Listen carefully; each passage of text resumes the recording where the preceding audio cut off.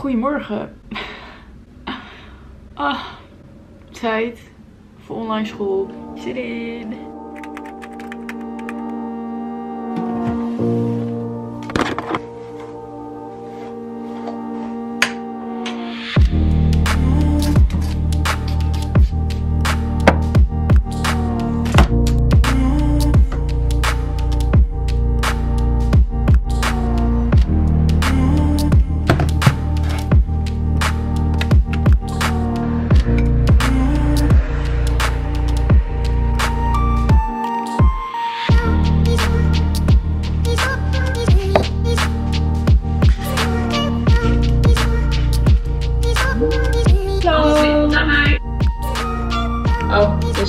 Hoor je nog steeds niet.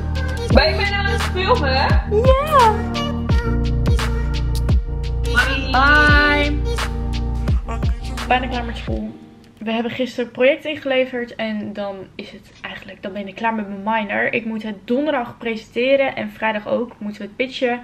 Ook aan de opdrachtgever, echt super leuk. Heel veel zin in. Dus nu nog even de laatste puntjes op de i. En dan zijn we klaar. En dan ga ik stage lopen.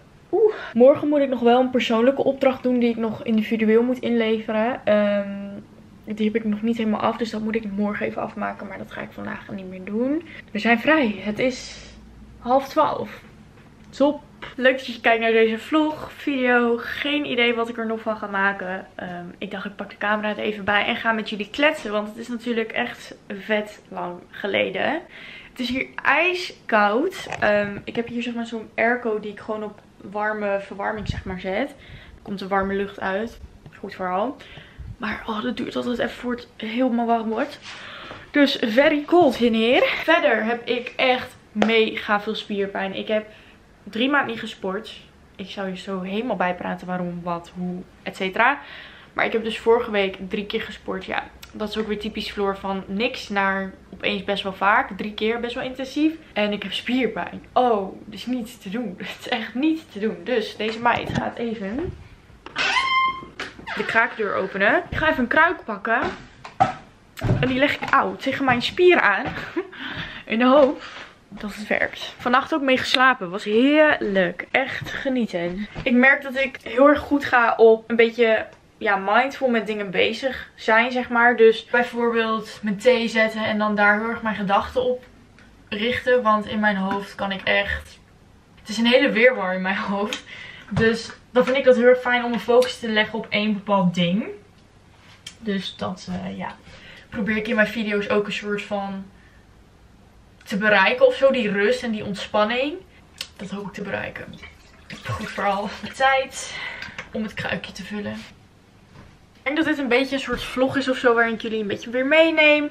Een update heb gegeven, lekker kletsen. En er komt dus gauw een video online waarin ik mijn hele badkamer ging opruimen, schoonmaken, organiseren. Dus... En er komen ook nog weer andere video's online. Dus ja, dat komt zeker weer terug.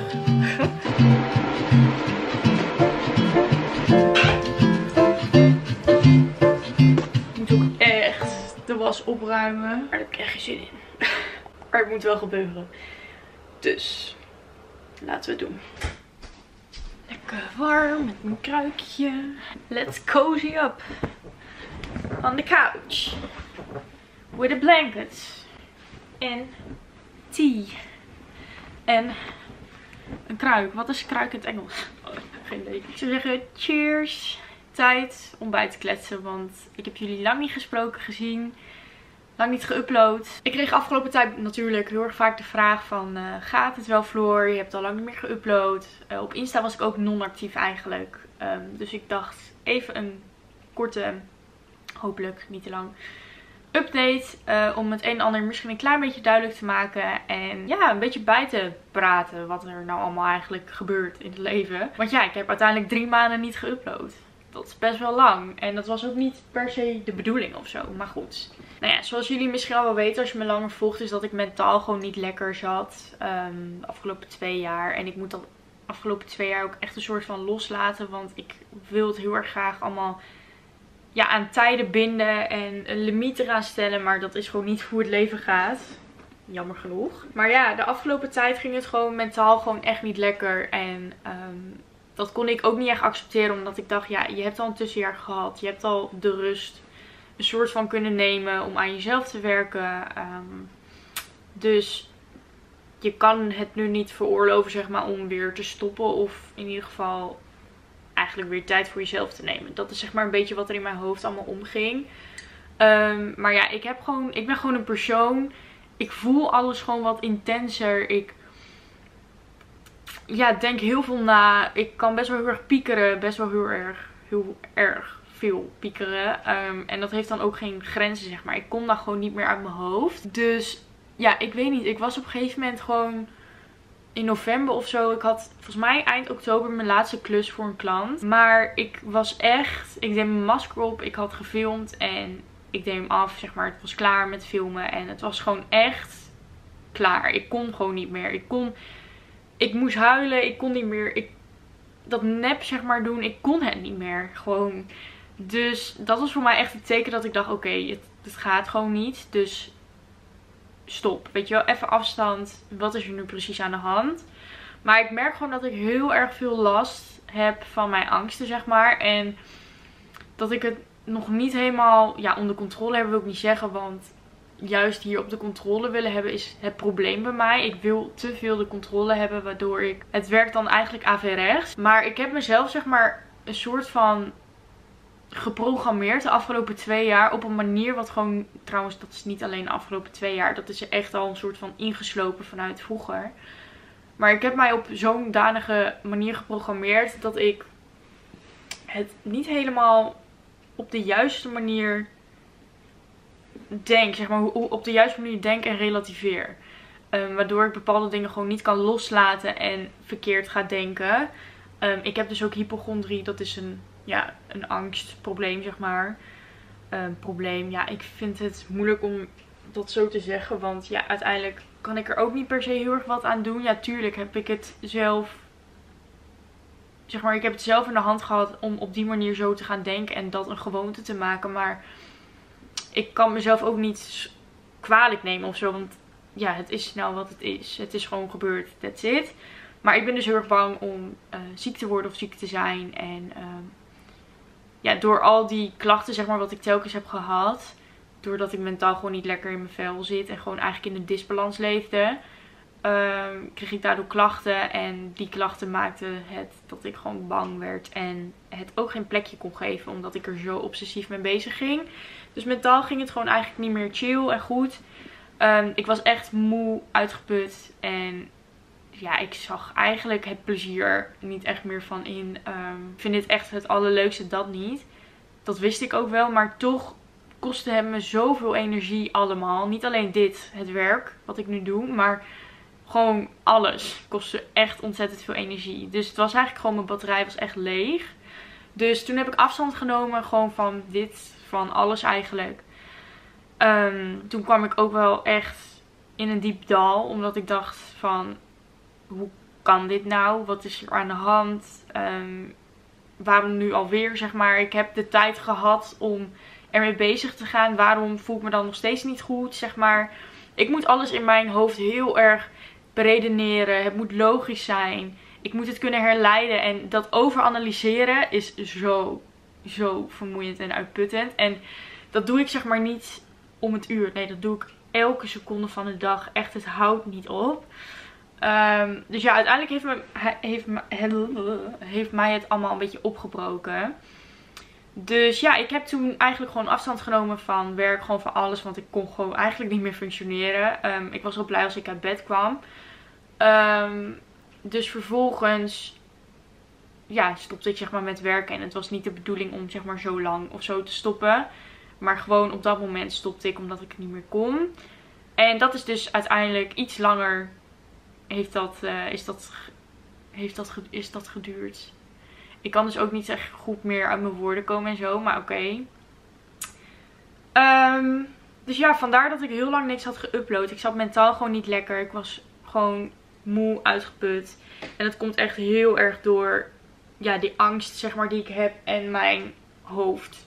Ik maak mezelf zo ontzettend gek. De dingen die ik zeg maar tegen mezelf vertel, de hele dag door. Dat is niet per se de waarheid de juiste waarheid. Zeg maar voor mij is het wel de waarheid, omdat ik mezelf telkens de hele dag door vertel ik dingen tegen mezelf en dan ga ik dat ook geloven, want zo is je brein nou eenmaal geprogrammeerd, zeg maar.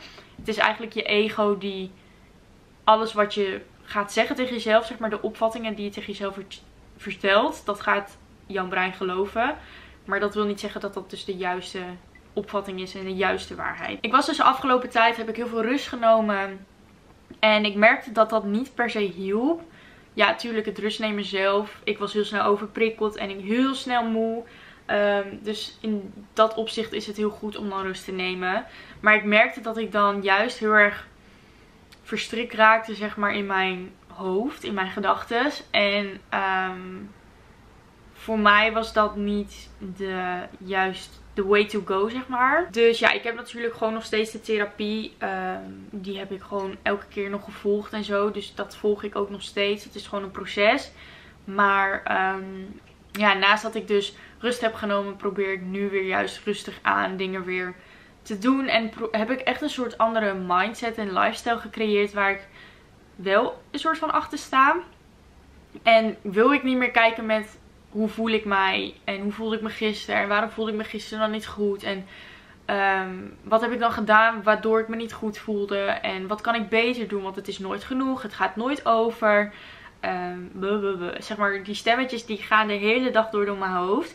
Maar nu op dit moment afgelopen maand eigenlijk is er een soort kleine switch misschien gaande van... Oké, gisteren ging het niet goed, prima. Maar vandaag is een nieuwe dag en vandaag kijk ik gewoon wat wel gaat en zien we het wel. Ik probeer het nu ook heel erg los te laten allemaal. En ik merk namelijk dat op het moment dat ik er heel erg in vast zit, zeg maar... En uh, heel erg bezig wil zijn met dingen wat goed voor mij zou zijn...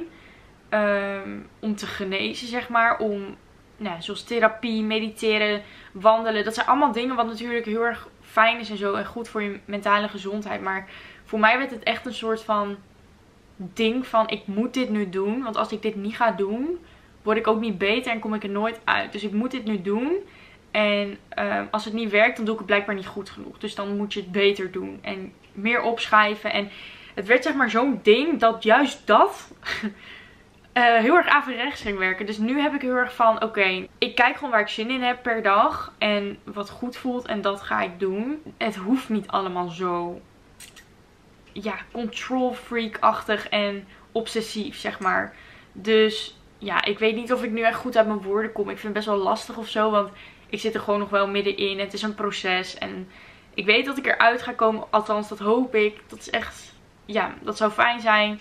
Maar voor nu is het gewoon nog een mentaal dingetje, zeg maar, wat ik echt een soort van doorheen moet gaan. Wat ook best wel intensief is en heftig, omdat het al zo lang speelt. Maar het heeft mij wel heel erg al gevormd tot hoe ik een beetje wil gaan zijn.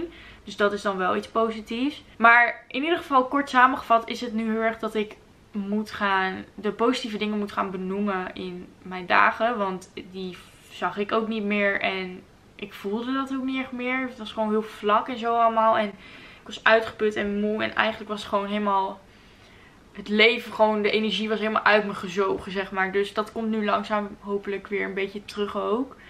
Ehm, dus ja, dat is eigenlijk een beetje waar ik de afgelopen maanden mee struggelde. Dus ja, ik probeer nu heel erg ehm, het te laten zijn voor wat het is het te accepteren en het vervolgens zeg maar los te laten. Zodat ik de angst ook een beetje losgelaten kan worden. Maar goed, dat is gewoon nog een heel proces. En elke dag is anders. Dus ja, ik hoop dat het een beetje duidelijk is. Ik vind het heel lastig of zo. Ik heb dit stukje nu ook al drie keer opgenomen. Omdat ik denk, oh nee, het is niet goed genoeg. Um, het is niet duidelijk genoeg. Het is vaag. Je benoemt niet goed genoeg de dingen. Of weet ik veel. Voor mij is het in mijn hoofd nooit goed genoeg. En denk ik straks tijdens het editen, oh dit had ik moeten zeggen. Of wat zeg je nou allemaal? Het is helemaal niet duidelijk en zo. Maar ja, ik denk dat ik dat ook gewoon even moet loslaten. Weet je, het is wat het is. Dit is wat ik nu heb gezegd. En daar doen we het maar mee. Ja, dat is gewoon echt een ding voor mij. Dat ik gewoon zo graag dingen goed wil doen. En duidelijk. En moet beter. En zeg maar die controle dat het altijd maar goed moet zijn. Dat is zeg maar het hele probleem. Dus ja, daarin probeer ik wel echt ehm, te veranderen. En ja, eigenlijk heel mijn patronen om te gooien. Maar goed, daar ben ik nu mee bezig. Dus, nou, hier ben ik dus weer een soort van. Dus ehm, ik ga geen vaste uploaddagen koppelen aan mijn YouTube kanaal. Het is echt, je ziet wel wanneer ik ja, weer op je beeldscherm ga verschijnen. Uh, wanneer ik weer ga uploaden. Ik ga over twee weken ook beginnen met stage. Ik vind het echt mega spannend. Ik doe namelijk nu dus de studie Creative Business op Saxion. Zo, ik kan soms zo niet meer nadenken. Het is zo eng en naar. Maar dat, is dus echt, dat heeft dus echt te maken met mijn overvolle hoofd. En dat ik zeg maar zo uitgeput ben. Soms wil je op woorden komen en dan kom je er gewoon niet op. En dan word ik helemaal warm. Krijg helemaal die adrenaline door mijn lichaam. En denk ik, oh mijn god. Ja, nu word ik de mens.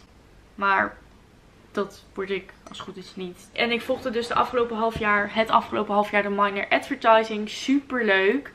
Ehm, ik heb echt geluk gehad dat dat best wel goed te combineren was met mijn proces, zeg maar, waar ik doorheen ging. Dus dat vond ik wel fijn. Dus dat was ook mijn volle focus. Ik ben ook niet gestopt met school dus. Wel doorgegaan, maar echt allemaal op een laag pitje. Ik heb op school ook ja, mijn eisen, zeg maar, de doelen die ik voor mezelf had. Ik wil altijd het beste. Ik wil het liefst een 8, 9 of een 10 halen. En allemaal ideeën. En weet je wel, ik heb gewoon best wel hoge eisen voor mezelf. En dat heb ik nu ook heel erg losgelaten in deze minor. Gedurende de minor eigenlijk. Om te accepteren dat een 6 ook goed genoeg is. En echt te accepteren dat een 6 ook goed genoeg is. Dus ja, dat uh, gaat eigenlijk wel goed. Dus dat is heel fijn. Maar over twee weken ben ik dus eigenlijk over week. Eigenlijk vandaag. vandaag heb ik... Uh, ja, mijn projecten ingeleverd. Dus eigenlijk ben ik nu soort van klaar met mijn minor. Ik moet alleen nog het project zeg maar pitchen met mijn groepje. En dan over twee weken begin ik dus met mijn stage. Maar ik vind dat best wel spannend, want dat is dus 40 uur stage lopen. Misschien is het ook wel even goed dat ritme vormen. Maar ik ben gewoon zo bang dat ik het niet aan kan mentaal. En dat ik dan weer over mijn grenzen heen ga. Maar misschien is dat ook weer de angst en de controle die ik wil hebben. Ehm, dus dat laat ik gewoon los. En we zien het gewoon per dag aan hoe het gaat zijn. En so be it. Dat eigenlijk een kleine update. Of nou ja, klein. Het is best wel een heftige update. Of intense update. Maar ik wil het ook niet te heftig allemaal maken. Ehm, het is wat het is. En mocht je er vragen over hebben, mag je, die, mag je die altijd in de comments stellen. Verder wil ik dus heel erg graag... Ehm, ja, de kant zeg maar van mijn video's. Ik ben natuurlijk de afgelopen tijd echt ontzettend veranderd. Sowieso de afgelopen jaren, jaar eigenlijk. Ontzettend veranderd. Maar ik vind nog steeds zeg maar de content die ik maakte heel erg leuk. Gewoon de en dat soort dingen. Dus dat wil ik ook zeker erin houden. Vooral de shop with me's. Dat vind ik echt geweldig. Maar ik wil het allemaal wat meer, zeg maar dingen waar ik echt gelukkig van word zijn de seizoenen. En natuur en boekjes lezen. En gewoon echt die fijne momentjes. Ehm, dus dat wil ik heel erg door laten trekken in mijn video's. Jullie weten dat ik cozy altijd heb gedaan. Ehm, de cozy video's, de gezellige knusse video's in de herfsttijd. Um, dat heb ik twee jaar op een rij gedaan.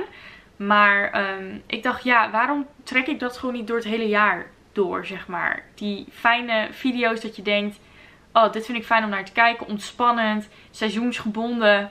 Dat kan ik ook gewoon het hele jaar door doen. Door doen dat hoef ik niet per se te koppelen aan één seizoen, bijvoorbeeld de herfst. Dus dat is echt iets wat ik nu wil gaan doortrekken in al mijn video's. Zeg maar dat je kijkt, dat je denkt, ja, gezellig, knus, lekker op de bank, kopje, kopje thee erbij, kopje koffie erbij en dan de video kijken. Nou ja, in ieder geval, dat is een beetje wat er gaat komen op mijn kanaal. Dus nog steeds een shop with me's en zo, maar dan bijvoorbeeld in de lente dat ik naar de intratuin ga en ga kijken wat daar allemaal te vinden is voor lenteassortiment, planten, bloemen en dat soort dingen. Dus een beetje seizoensgebonden uh, video's. Helemaal leuk. Daarnaast vond ik het dus heel erg, ik vind zeg maar die losse video's ontzettend leuk. Maar daarnaast mis ik dan heel erg ook het persoonlijke, zeg maar mij. Um, dat jullie een beetje op de hoogte zijn van mij en dat jullie me een beetje kennen, zeg maar. Een soort band um, die we kunnen opbouwen. Dus toen dacht ik, wat nou als ik ook Zeg maar, ik maakte altijd day in my life video's. Dus gewoon dagvlogs. Maar wat nou als ik het Delvers Diary noem? En dan dus echt een soort van jullie meeneem echt even in mijn leven. En op dat moment. Zodat we ook een soort band kunnen opbouwen. En het nog iets persoonlijker kan zijn. Zoals dit. Zeg maar lekker bijkletsen. Um, en zien wat ik in mijn dagelijkse leven eigenlijk allemaal doe. Routines, dat soort dingen. Maar dat ik dat in een soort dagboekje, videodagboek bijhoud. Toen dacht ik aan Delvers Diary diary. Om zeg maar naast die losse video's nog wel dat persoonlijke met jullie een beetje te houden en te creëren. Dus let me know als je dat leuk vindt of dat je denkt, noem het gewoon nog steeds Day My Life één pot nat. Gewoon lekker hetzelfde. Maar ik dacht dus aan Delvis Darby. Nou, goed verhaal. Ik klets echt te veel. Dus ik ga nu stoppen. Ik drink lekker mijn theetje op. Die is inmiddels wel goed afgekoeld. En dan ga ik nog even op de bank zitten. En oh, we gaan eten. Dus ik ga lunchen. Ik moet zo echt even mijn lippen scrubben, want is niet te doen.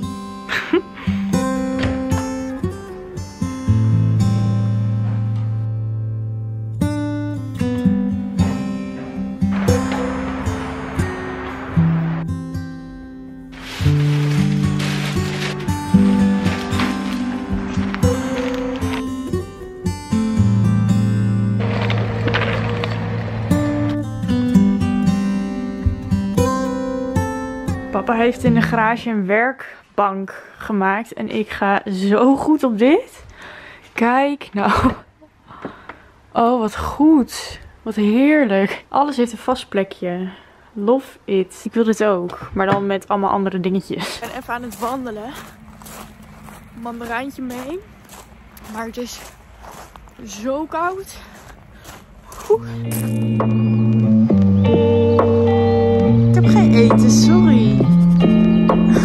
Schattig. Ik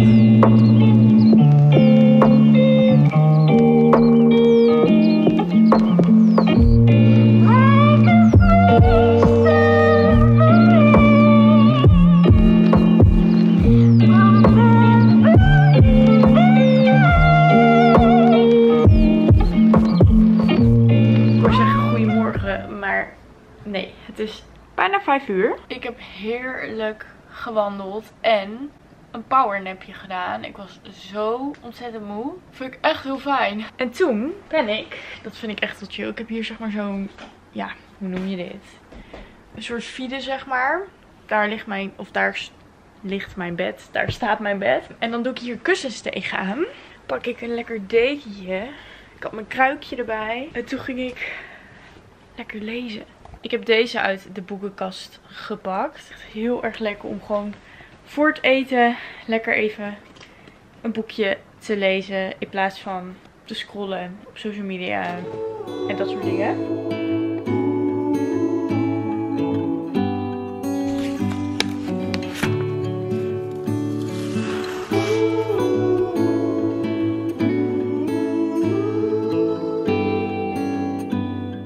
Ik heb trouwens nog iets vet leuks om te zien. Ik doe namelijk heel vaak op Instagram een closet sale. En ik heb dus de afgelopen weken heel mijn kast uitgezocht. En ehm, ja, ik ga dus weer een closet sale houden. En toen dacht ik, ja weet je, we gaan het gewoon helemaal professioneel doen. Dus ik heb verzendzakken besteld. Lichtroze. Hoe vet is dit? Ik vind het zo leuk. Het licht is nu alleen heel grauw. Want het is al donker aan het worden. Maar Kijk nou. En dan heb ik ook nog vloeipapier. Ook lichtroze. Zonder eh, die icoontjes erop. Dat is gewoon een plastic. Dus gewoon lichtroze vloeipapier. En daarmee kan ik dan de kleding inpakken. En dan heb ik ook nog kaartjes en stickers besteld. Waarmee ik dus de orders helemaal kan pakken. Dus oh, ik vind dit zo leuk. Lekker gedoucht. En ik ga nu richting bedje toe. Heb lekker de kruik meegenomen. Ga het boekje nog lezen en dan ga ik lekker slapen. Ik ga eigenlijk voor het slapen probeer ik echt nooit meer op mijn eh, telefoon te zitten. Omdat ik daar gewoon heel rustig van slaap. Dus altijd standaard doe ik hem om half negen of zo weg. Mooi volgende ook op mijn hoofd. Ik ga lekker deze video afsluiten. Ehm, ik hoop dat jullie het leuk vonden dat er weer een video online is gekomen. Bedankt voor het kijken en eh, tot gauw weer. Doei doei!